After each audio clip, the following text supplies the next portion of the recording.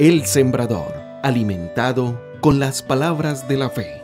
Decía Don Quijote de la Mancha que la gente chismosa es aquella que le tira piedras a los árboles que dan frutos. A veces te sorprendes de darte cuenta que cerca de ti puedes tener enemigos ocultos que solo están buscando una oportunidad para tirarte piedras. La necesidad de hablar mal de otro indica una baja autoestima. Es decir, yo me siento tan pequeño que en vez de subir, de crecer, bajo a la otra persona. Porque es más fácil. El chisme es considerado por los sabios un triple asesinato, ya que mata a tres personas. Primero, a la que lo está diciendo, pues está acabando su propia tumba. Segundo, a la persona de la que se habla, ya que no hay nada peor que dañar la integridad de una persona.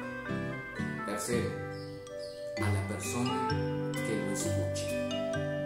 Mira, hermano, la epidemia de los rumores solo termina cuando por fin llega a oídos de la persona inteligente, a ese corazón vacunado que no atiende ni responde a lo que no tiene sentido mecanismo siempre suele funcionar del mismo modo. Hay un hipócrita que crea un chisme para que el chismoso lo difunda y el ingenuo lo crea sin resistencia.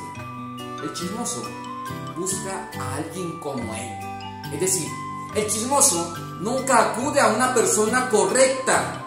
El chismoso te va poniendo a prueba, te va soltando pequeñas dosis de su veneno va viendo tu reacción. Si no lo frenas a tiempo, pronto habrá descargado en ti todo su veneno.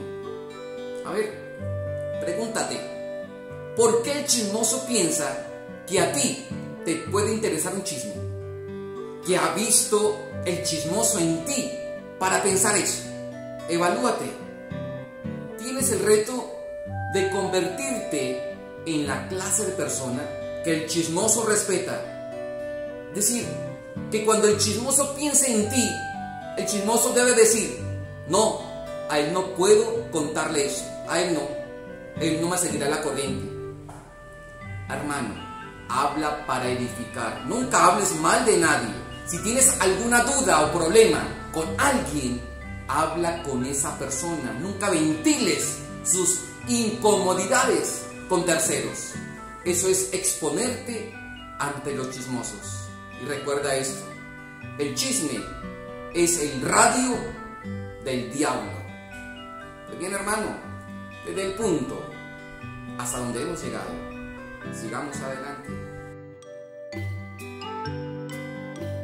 El sembrador, alimentado con las palabras de la fe.